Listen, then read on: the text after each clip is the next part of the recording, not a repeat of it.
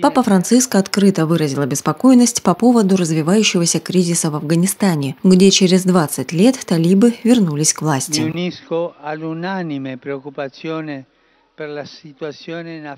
Присоединяюсь к единодушной озабоченности ситуации в Афганистане. Я прошу всех вас молиться вместе со мной Богу мира, чтобы шум оружия прекратился и решения были найдены путем диалога. Только так пострадавшее население этой страны, мужчины, женщины, старики и дети, сможет вернуться в свои дома и жить в мире и безопасности при полном взаимном уважении.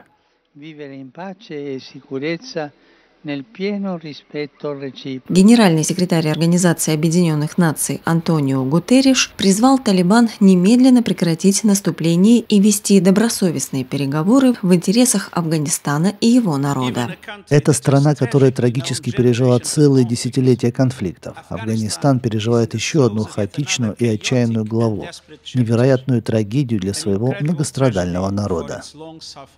В минувшие выходные сотни людей собрались в аэропорту аэропорту Кабула в надежде бежать из страны. Тысячи афганских беженцев сейчас движимы страхом, неуверенностью и глубоким чувством покинутости.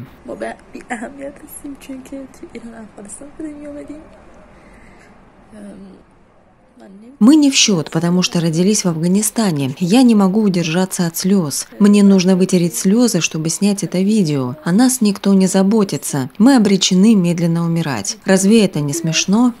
کسی به ما اهمیت نمیده و ما توی تاریخ توی تاریخ هم میمیریم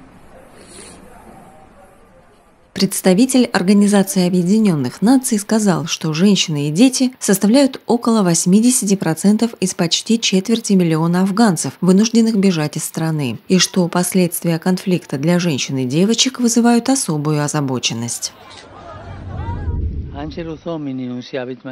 Помолившись за мир в Афганистане, Святейший Отец выразил свою близость с народом Гаити после недавнего землетрясения силой в 7,2 балла, поразившего эту страну.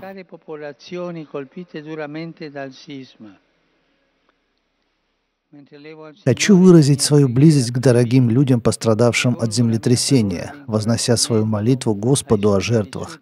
Я одобряю оставшихся в живых, надеясь, что международное сообщество окажет помощь. Очаг землетрясения находился примерно в 80 милях к западу от столицы страны и был сильнее землетрясения силой в 7 баллов, которое разрушило Гаити в 2010 году. Святейший Отец произнес молитву за Гаити. Давайте вместе помолимся нашей матери за Гаити. Радуйся, Мария. В праздник Успения Пресвятой Девы Марии Папа Франциск призвал нас последовать примеру смирения Марии и пригласить Бога в нашу жизнь.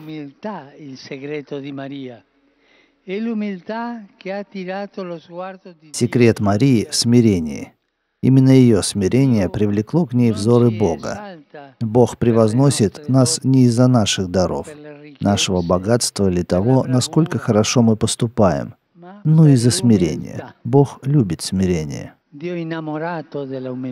Он призвал паломников на площади Святого Петра посетить Марианскую святыню и предложил им молиться перед одной из его любимых икон в базилике Святой Марии, спасительницы народа римского.